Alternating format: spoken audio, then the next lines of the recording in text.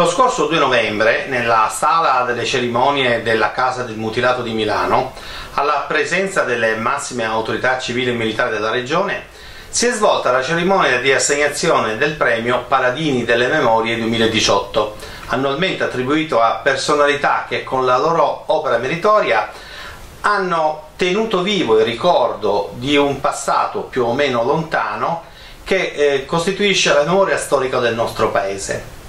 Eravamo presenti alla cerimonia solo eh, nell'intento di presenziare all'importante evento e nell'occasione girare qualche immagine utile, sempre utile, per il repertorio del giornale. L'articolo che doveva coprire l'evento e che è stato pubblicato eh, lo scorso 5 novembre ci era stato preannunciato a cura della prestigiosa firma del generale Camillo De Milato. Durante la cerimonia però è accaduto qualcosa di straordinario che in tutta onestà ci ha colto di sorpresa. Tra tutti i premiati, persone di altissimo spessore umano ed intellettuale, è spiccata una figura fuori dal comune. Si tratta di un alpino, reduce della campagna di Russia, il tenente Marco Razzini, che con straordinaria lucidità di pensiero e carismatica capacità comunicativa, nonostante la veneranda età di 100 anni e mezzo, ha rievocato un momento storico da lui vissuto in prima persona, rendendo i giusti meriti a chi, e tra questi ha citato Mario Rigoni Stern e Giulio Bedeschi, diretti testimoni degli eventi che hanno coinvolto i nostri militari dell'Armir, ha raccontato fatti, esperienze, episodi e atti di eroismo giunti spessissimo fino al sacrificio estremo. Il tenente Razzini ha però anche evidenziato quella che possiamo definire una pecca nella rappresentazione di quegli avvenimenti, la carenza di cronaca relativa alla penosa condizione di chi ha subito la prigionia.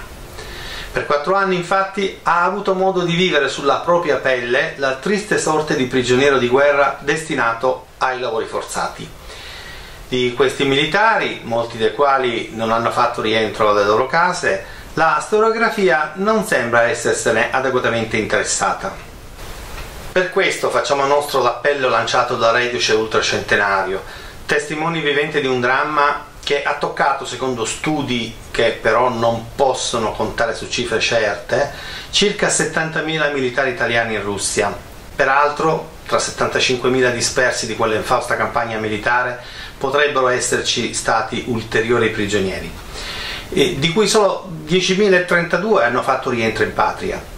Si calcola infatti che sono almeno 22.000 quelli che non arrivarono neppure ai campi di prigionia perché morirono a causa di quelle lunghissime marce di trasferimento, le famose marce del Davai, uccisi dallo sfinimento, dall'inedia e dalle percosse delle guardie sovietiche.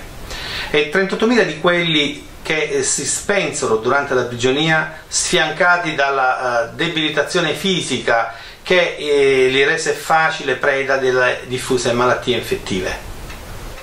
Ci uniamo quindi anche noi all'appello rivolto ai divulgatori storici affinché affrontino con maggiore incisività l'argomento e diano il giusto risalto ai sacrifici sostenuti da questi nostri soldati rimasti in prigionia per lungo tempo.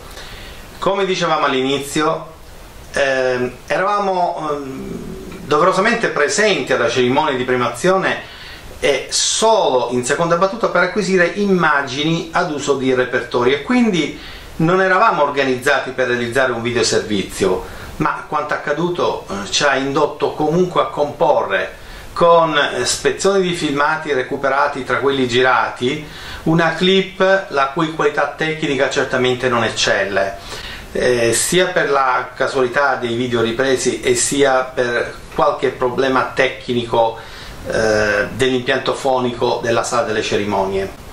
Di questo ce ne scusiamo con i nostri lettori, ma eh, riteniamo doveroso rendere comunque onore al tenente Razzini riportando alcuni momenti che lo ritraggono nel suo manifestamente apprezzato intervento durante il conferimento del premio.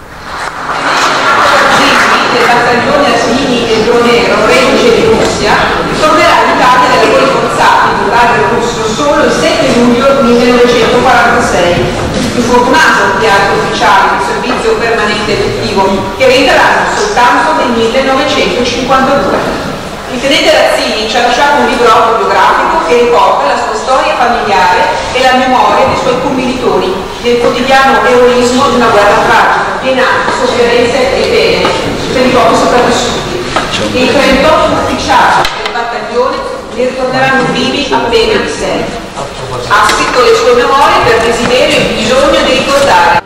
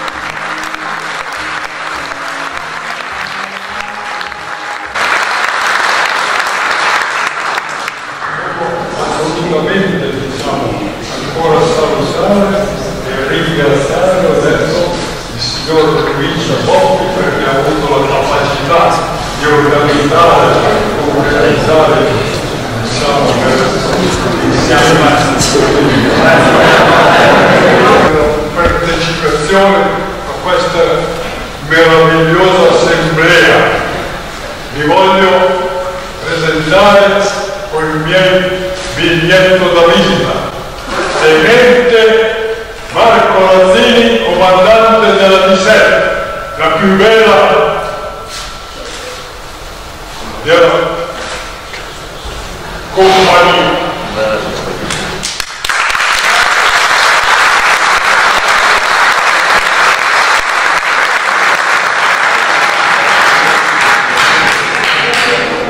Mi permetto di targellire magari un po' l'ordine del giorno, se chiamiamo così, eh, locandina, esprimere molto il mio compiacimento della partecipazione di tanti cittadini.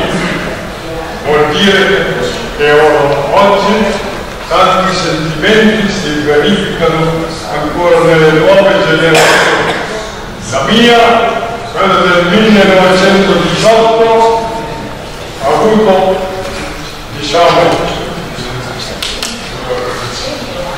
momento difficile della campagna di Russia. Io diciamo sono sopravvissuto alle disgraziate, chiamiamole così, locandine del, del, dell'esercito russo. Sono sopravvissuto e questo qui mi dà un certo rigore e una certa devo da questo momento ringraziare il nostro Presidente della sezione di Milano, signor Boffi, Presidente, diciamo che ha avuto la capacità di introdurre questo grande complesso di manifestazioni.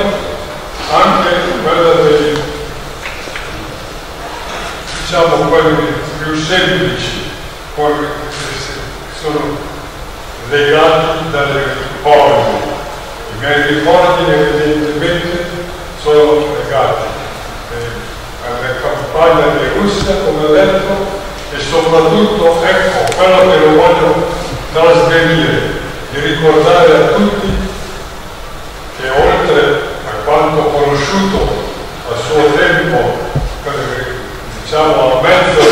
e scrittore che sia Giulio Vedeschi con le 100.000 gavette di viaggio che mostra Mario Rigoni Ster di Asiano è stato in certo qual modo trascurato quello che è stato la disgraziata campagna dei quattro anni di prigionia.